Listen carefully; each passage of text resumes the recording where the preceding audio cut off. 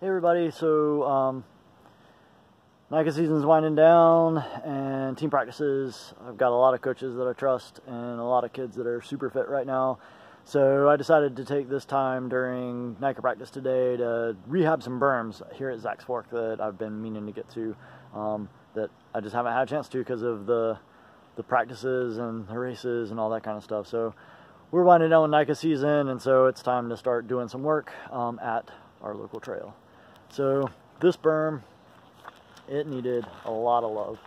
Um, I really didn't like the way it flowed, and so came in, and you can see kind of re redid the exit if you're going downhill, and made a nice transition. Tried to make the arc a little bit more, um, make a little bit more sense as you come off of this downhill section at the very beginning. So rehabbed this one some and then up the trail. The first berm that you come to um, after the bridge, if you're going in the clockwise direction, is up here.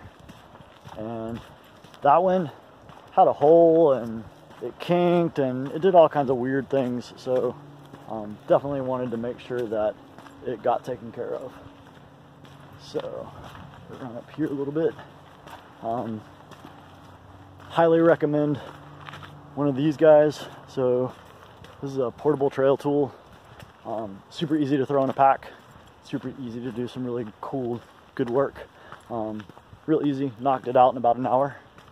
So, you can see kind of redefined a little bit so this one probably take a couple more shots at um, just to make it kind of as nice as the one that was down below came out.